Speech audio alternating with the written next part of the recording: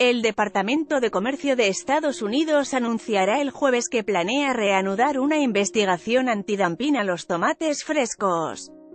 mexicanos después de salir de un acuerdo de 2013 con México.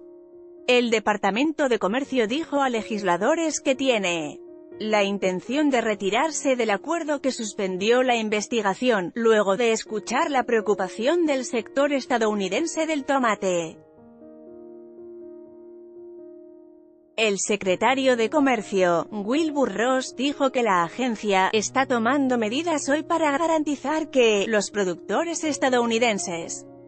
estén protegidos contra prácticas comerciales desleales. La semana pasada, cerca de 50 legisladores estadounidenses encabezados por el senador Marco Rubio le escribieron a Ross pidiéndole que tomara medidas rápidas. Los congresistas dijeron que, desde 1996, cientos de cultivadores de tomate en todo el país se han visto obligados a abandonar el negocio. Participación de México ha aumentado Los legisladores dijeron que la participación de México en el mercado de tomate en Estados Unidos ha aumentado de un 32 a un 54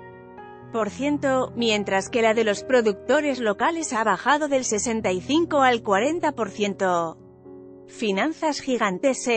independizan de la CFE el pacto de 2013, que estableció precios mínimos de referencia para los tomates mexicanos, se acordó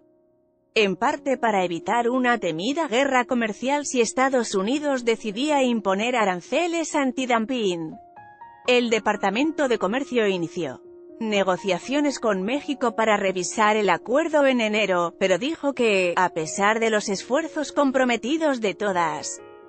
las partes quedaron importantes cuestiones pendientes, si el Departamento de Comercio encuentra que las ventas de tomates frescos se realizaron a un valor inferior al justo y la Comisión de Comercio Internacional ve un daño significativo, el gobierno podría tomar medidas antidumping.